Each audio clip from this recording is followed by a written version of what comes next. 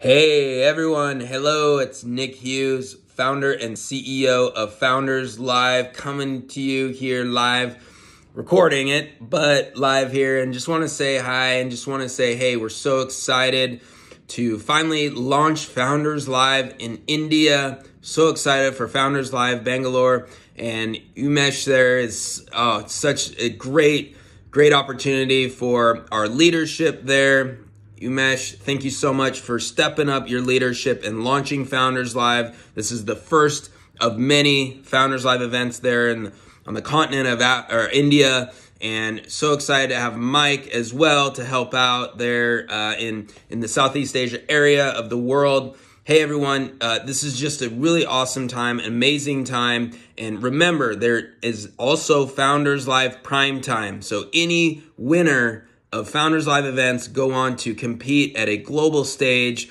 in the specific regions of the world. So the winners of Founders Live Bangalore will go on into the Founders Live primetime qualification for an opportunity to pitch at a on the global stage at our Founders Live primetime events. So we're really excited. I just want to say again, Nick Hughes, CEO of Founders Live, so excited to see Founders Live launch and expand in India.